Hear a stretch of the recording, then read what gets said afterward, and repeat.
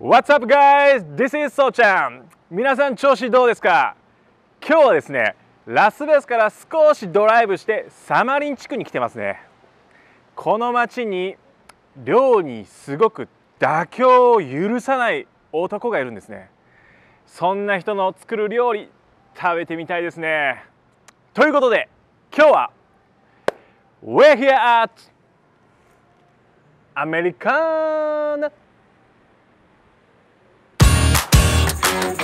Tjena så. Gröningen. Mm. Hahaha.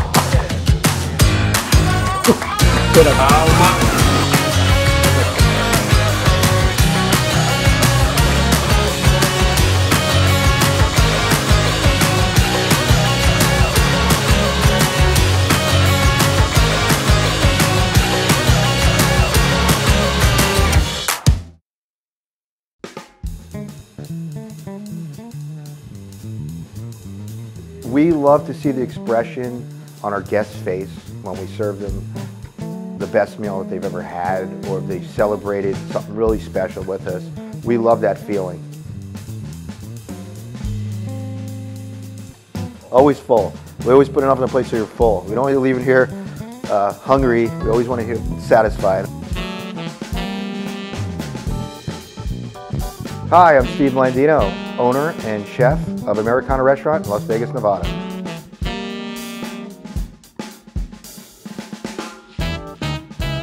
Americana to me is a blend of different cultures that's in America now. And then we're just sourcing stuff that's kind of as local as we could in Vegas, if it's California or Washington, and we're blending that together. So there's different types of food on our menu. Uh, we opened up the restaurant November of 2016. What makes it special, this restaurant, is that it uh, has a great view, a great vibe. We're on the lake. There's not many restaurants on a lake, even in Vegas. And the people that surround the lake are really sweet people. A lot of the people that live around here support us. We're doing more of a local base, which we love because we get to know everybody that comes in here, their preferences, their dislikes, their likes. They are a family. They're a very close-knit family. So many people that come through this door that are, that are part of our family that can always come here, good days and bad days, and we'll try to cheer them up or we'll have a celebration with them. had a sort of 50th wedding anniversary for my parents and uh, came here with friends of theirs and everyone loved the environment loved the food the service was incredible and so now they've been coming back every tuesday basically for the last three years and it's nice because i know my parents go to a restaurant where it's basically family Yeah, I guess the hamburger. The hamburger? Yeah, I like the chicken tenders. Chicken tenders? Okay. I always tell people they're not our customers here, they're our guests. So we treat everybody like they're in our home. This is our home. So like this is our library, that would be our dining room, uh, that would be a lounge area. So no matter where you are here, you should feel very welcome. We came here uh, for our anniversary. Our waiter was super nice. He brought us most important people he'd ever waited on. And after that, we just came back all the time. Pancakes walking in, short rib walking in. All right, I'll take this one out. 64. You got pancakes? Then you got muffin? Shrimp on the side. Shrimp on the side. Add shrimp right here, Chef. Chicken BLT one. Danny, chicken BLT. That's the add chicken? Beautiful, thank you. No onions? This one's no onions. Just give me one chicken BLT and I'm happy. Hey, can you get me the smoker? Are you ready? Yep. You know where you got it, right? Oh, You got Machina.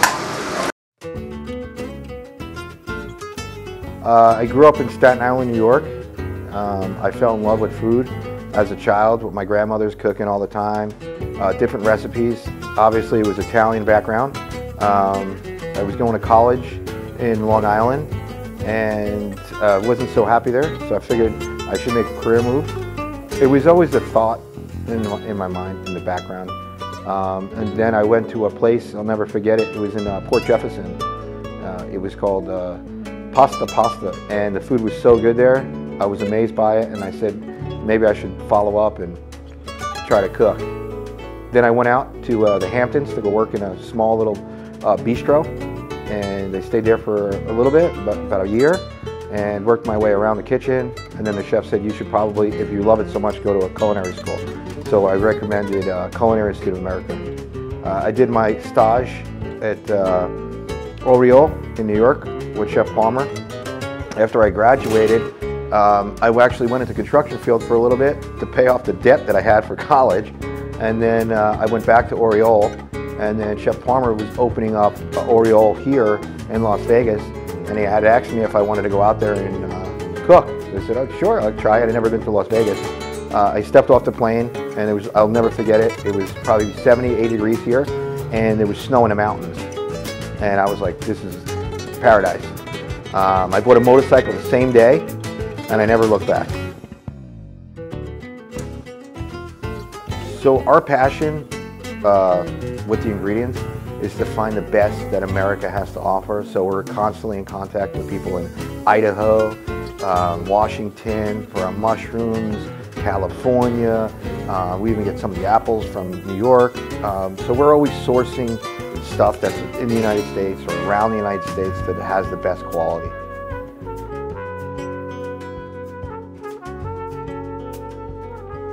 So the Japanese believe that there is always art in food.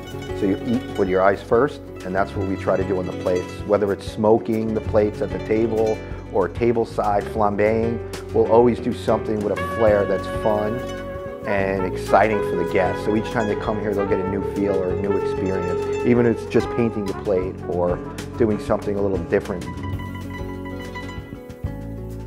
Well, we take great pride in uh, definitely the quality of our food and our service. Our service is top notch. Um, we get great, great response from everybody on our service.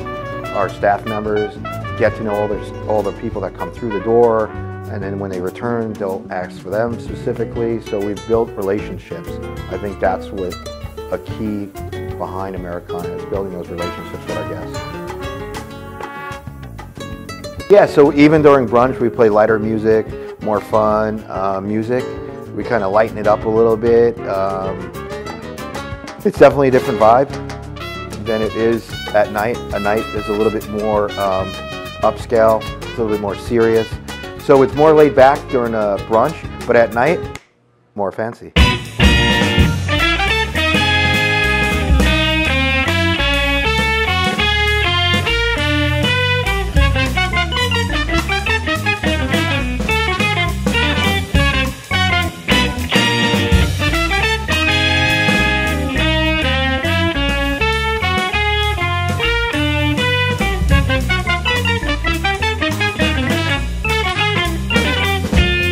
Uh, we have a great relationship. Uh, there's two sous chefs that are here are great. They're always striving to do something a little differently and finding and sourcing different ingredients. Some that we've worked with, some that we haven't worked with. So always trying to keep it lively and entertaining that day. Well, I've been here for about almost four years, um, and it's been a very strong relationship. I've learned tremendous things, and I started here as the day cook, uh, fish station, moved to the grill, and then just focused everywhere that I was able to build myself on, and he really has been a key part in, in building me to that position. I learned something uh, a long time ago. You can't hand, hand out lollipops every day. So it's always a love and give, love and give. Sometimes it's you have to be stern when service starts. You know, there's different times where you can have a joke or you could say a joke or do something, but you always got to try to stay focused. I see that a lot of places they lose focus, and that's where the mistakes happen. So we're always trying to be as focused as possible. This is strip, strip steak. Bone in, strip steak. So this is aged for 40, about 40 days. Uh, it's prime, all natural. It's from Nebraska. I'm just gonna take this off here. Here you guys. So sometimes they take this off just for tenderness. You guys have a really tender piece.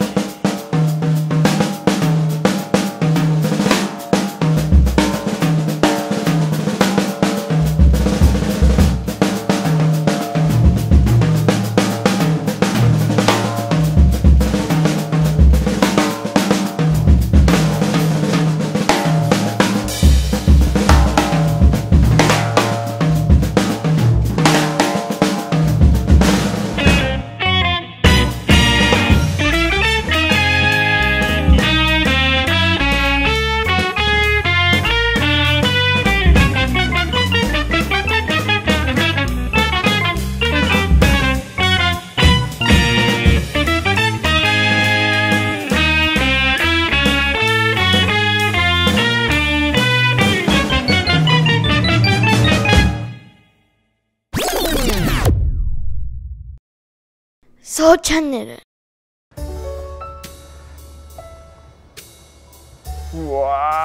we have a smoked surf and turf, dry aged New York on the bottom, uh, Alaskan king crab, huckleberry puree, Peruvian potatoes, we have fiddlehead ferns, baby uh, fennel, and pickled artichokes.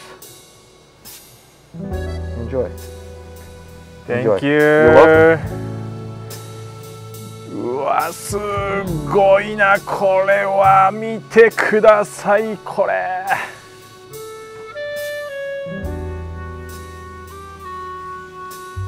アメリカのすべての技術とか、まあ、思いが詰まった一皿っていう。これは早速いただきますけどこれどれからいこうか迷いますねこれ。贅沢だな。まずはこのアラスカンキングクラブですね。いただきます。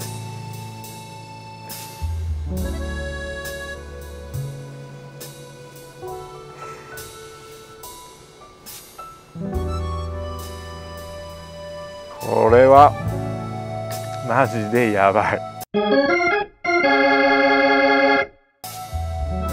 お肉ですね。ど真ん中行きましょ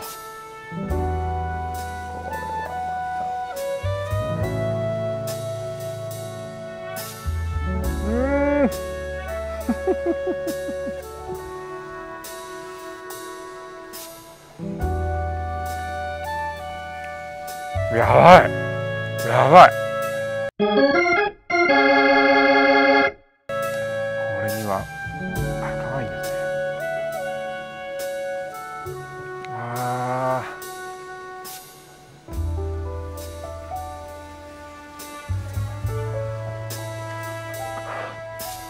幸せ。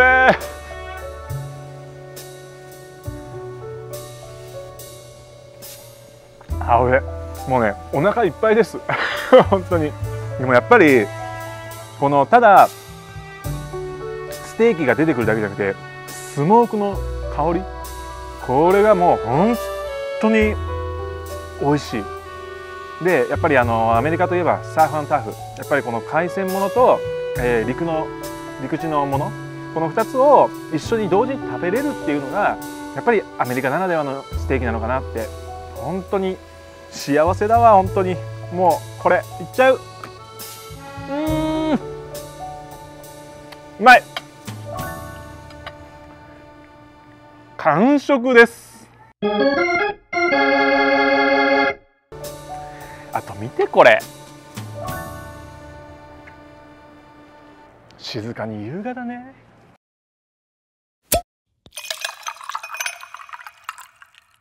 そうチャンネル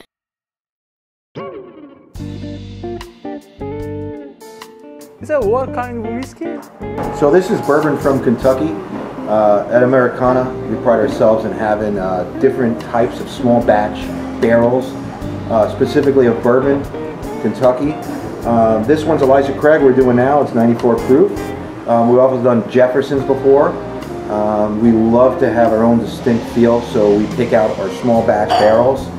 Um, we do a little tasting, and we figure out which one complements our food well. Um, and we find that this Elijah Craig is a, is a great small batch. Cheers. Cheers.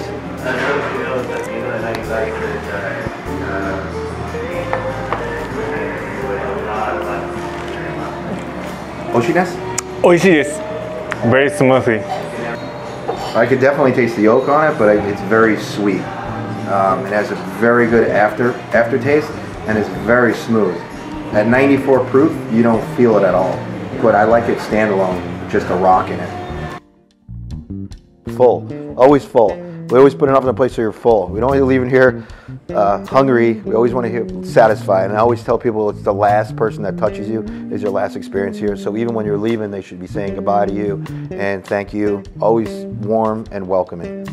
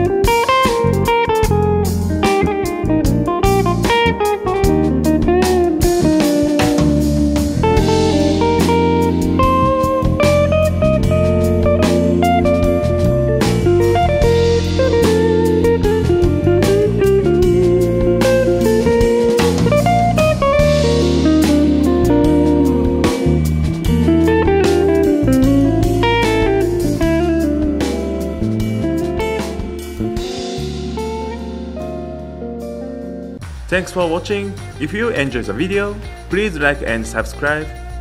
See you next time.